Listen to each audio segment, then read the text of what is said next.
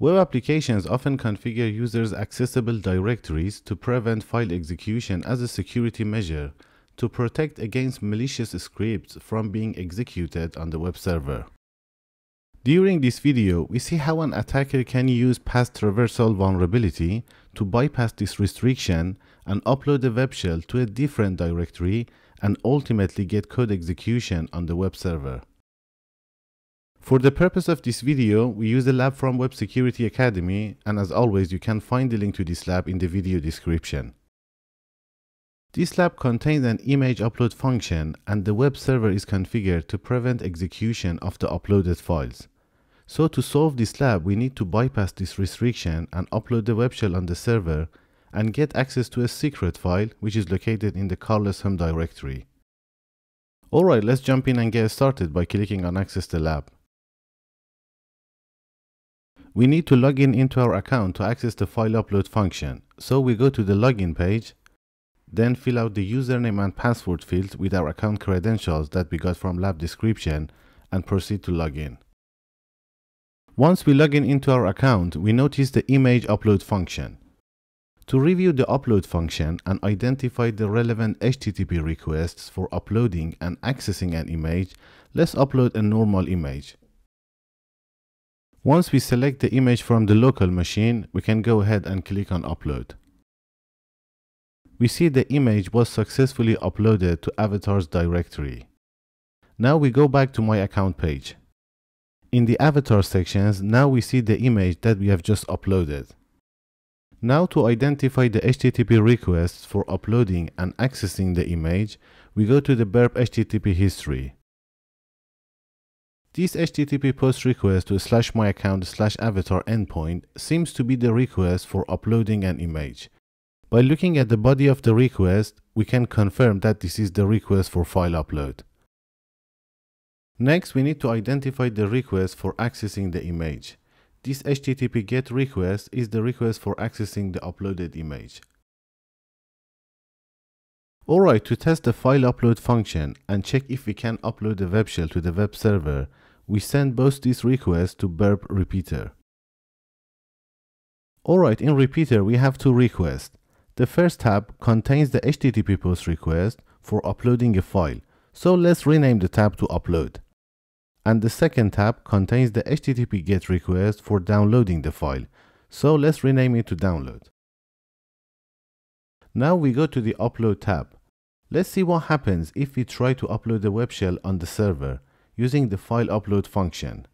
We need to change the file name and file content. So in the request body, first we change the file name to shell.php. Next, we remove the contents of the file and replace it with a simple PHP web shell. This simple PHP code is using the system function, which takes a shell command from the URL parameter called cmd execute that command and return its output. So if we manage to upload this PHP file, then we can execute shell commands on the web server. Now we can go ahead and send this request. As we see the application didn't prevent us from uploading the PHP file and the shell.php has been uploaded to avatars directory on the web server. Now that we have uploaded the web shell, the next step is to access it and check if we can execute commands on the web server. So we go to the download tab. First we change the file name in the URL path to shell.php. This tells the web server to execute the PHP code in the shell.php file. Next we add the cmd URL parameter to the get request. The value of this parameter tells the PHP code what shell command to execute. For now we use the id command and if everything goes well, it should return the current user on the web server. So let's send the request. As we see, instead of executing the PHP code and returning the output of id command that we send in the cmd parameter, the server returns the content of the PHP file as plain text. This tells us that the avatars directory, which the user's files are uploaded to, is configured to prevent file execution. Well, this is a common security measure used by many web applications to prevent the execution of users' uploaded files on the server. So to get code execution on this web server, we need to come up with a solution to bypass this restriction. A possible solution is to check if we can upload a web shell to another directory on the server that is not configured to prevent file execution. As we see, the avatars directory is located within files directory. So if we can manage to upload the web shell to files directory and the files directory is not configured to prevent file execution, then we should be able to get code execution on the web server. However, to upload the web shell to files directory, first we need to check if the application is vulnerable to directory traversal and allow us to upload the PHP script to the files directory instead of avatars directory. Alright, let's go back to the upload tab. In the request body, we select file name value and add dot dot slash before the file name. This tells the application to go one level up in the directory structure of the web server and upload the PHP web shell to the files directory instead of avatars.